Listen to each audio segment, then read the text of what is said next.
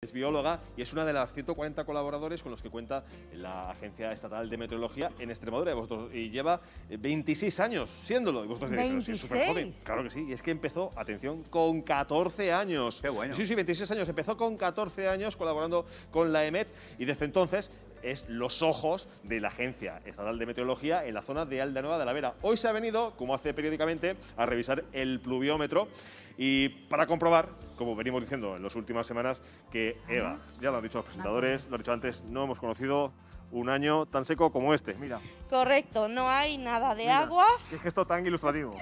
nada de agua durante, pues hace más de tres meses aproximadamente no llueve nada, nada, vamos, Ya yo diría sabemos. que nada. Ya sabemos que esto no es una ciencia exacta, que influyen muchos factores, pero ¿tú a qué la achacas? ¿A que lleva tan poco? Al cambio climático. Estos negacionistas no tienen Mal asunto, ¿eh? Yo creo que, hombre, que un poco de cambio climático hay. Soy bióloga, entonces eh, puedo decir Sabe y de hablar habla. con conocimiento. Y yo creo que sí, el simple hecho de, bueno, todas las cosas que están sucediendo, volcanes que de repente afloran, eh, los huracanes, todo se está viendo durante los últimos años que, que está cambiando, que el tiempo cambia. Y así nos luce el pelo, compañeros. Mira, quiero que veáis esto creo. tan curioso. Fíjate, ¿eh? Aquí lleva apuntando en estos cuadernitos, cuadernos de lluvia. Bueno, pues todos los datos de lluvia desde el año 95. Es muy curioso esto, mira. Aquí lo pone. Eva María Cerro, profesión, estudiante de primero de BUP. Qué bueno. Eva, ¿tú cómo te metes con 14 años en este embolado? Pues porque en el colegio donde se recogía el agua, que antiguamente era donde se hacía, los directores de colegio eran los que se encargaban de recoger el agua. Eh, pues bueno, llegó un momento en el que cambió el director, el nuevo que vino no quiso hacerse cargo de ello.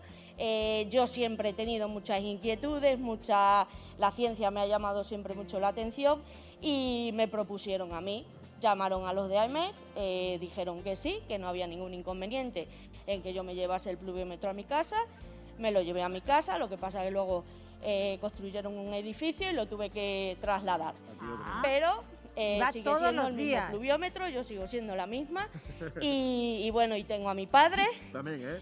Que, Que si no no dice la tele, dice que nos mata. ¿Cómo se llama tu padre? que Felipe Cerro. Felipe. Claro. Felipe Cerro. Y, Dicho queda. y bueno, que él cuando yo he ido a estudiar fuera, lógicamente él es... Felipe se encargaba, él. ¿no? El Exacto. sustituto, el sustituto. Mira, aquí vemos el del año 95, ¿eh? 95, empecé en el año Ya, 93. ya ha llovido, diríamos el chistecito de ya ha llovido, pero a lo mejor no tanto, ¿eh? lo Sí, creo. En realidad empecé en el año 92, Ojalá pero bueno, ya viviendo. oficialmente en el año 95 tenía que ir apuntándolo todo en estos cuadernos. Este es el primero más o menos que tienes aquí. Sí, sí, Vamos este a ver el el último, ¿te parece? Venga, Y el hay último. 140 Sería- colaboradores en Extremadura. Aquí está, el de 2021. 140 en Extremadura, sí señor. Del 2021 y Señora, bueno, mira. está, es que como Fíjate. se puede ver, Aquí tenemos Pues el mes de octubre, que es cuando se considera que empieza el año hídrico. exactamente. ¿Cuánto nada, llovió en octubre? Nada, Nada. eh, Nada. 40 Está y pico, 50, Noviembre. e igual. Bueno, noviembre ni siquiera llegó a 10.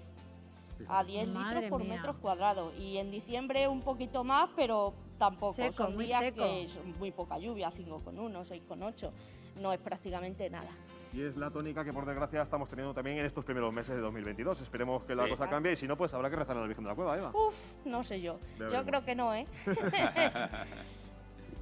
Bueno, gracias, mano. Ahí nos quedamos con.